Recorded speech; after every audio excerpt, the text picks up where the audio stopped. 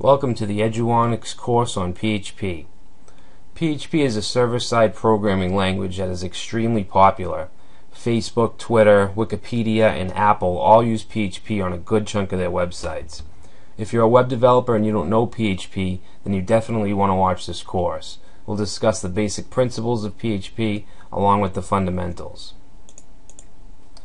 Before we do anything, we'll set, we'll set up our environment. We'll be using XAMPP, which is a program for Windows, Mac, or Linux that allows us to run an Apache server, PHP, and MySQL right on our own machine. From there, we'll learn about variables, arrays, both numeric and multidimensional, and we'll learn about for loops, while loops, and for each loops to iterate through arrays. We'll create and execute functions.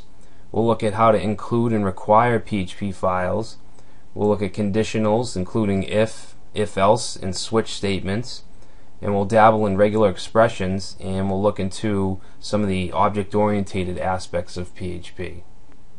So whether you're a web designer, a beginner developer, or even a professional that's looking for some kind of refresher course, then this course is perfect for you.